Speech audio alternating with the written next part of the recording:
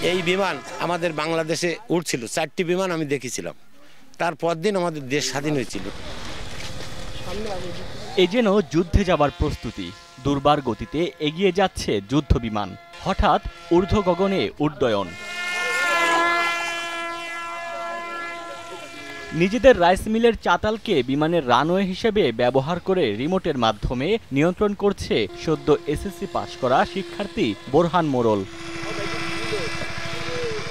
অভিনব এই আবিষ্কারক জানায়, আকাশ দিয়ে উড়ে চলে বিমান। তা দেখে স্বপ্ন জাগে নিজ হাতে বিমান তৈরির। সে থেকে আনাগোনা শুরু হয় ইউটিউবে।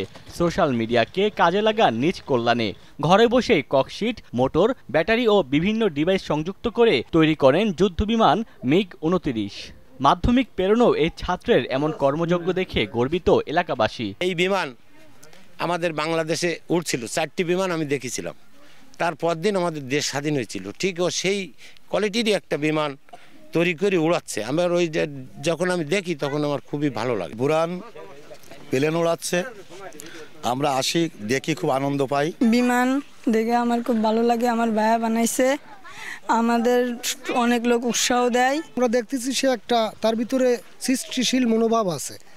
এখন যদি সরকারি তরফ থেকে কোনো প্রতিষ্ঠানের পক্ষ থেকে তাকে নিয়ে এই বিষয়ে কাজে লাগানো হয় আমি আশা করি সে দেশের জন্য, এই জাত- জাতির জন্য কিছু দিতে পারবে। স্বপ্নকে বাস্তবে রূপ দিতে চান বোরহান। বাস্তবে একদিন বিমান তৈরি করে বাবা মা ও এলাকাবাসীর মুখ উজ্জ্বল করার প্রত্যয় বোরহানের। করোনাকালীন অবসর সময় টিভিতে দেখে একটা ছেলে প্লেন উড়াচ্ছে আরসি প্লেন। তো সেখান থেকে আমারও ইচ্ছা হয় আমি প্লেন তৈরি করব এবং উড়াবো। তো তারপর থেকে ইউটিউব দেখে কিছু টেকনিক আয়ত্ত করি প্লেন তৈরি করার। তারপরে দশ থেকে পনেরো বার প্লেন তৈরি করে ব্যর্থ হয়ে উড়াইতে পারি নাই। তো তারপরে একটা সময় প্লেন তৈরি করছি এবং সেটা ভালোভাবে উড়াইতে পারছি। বোরহানের আবিষ্কারকে উৎসাহ দিতে সব ধরনের সহযোগিতার আশ্বাস দিয়েছেন জেলা প্রশাসক।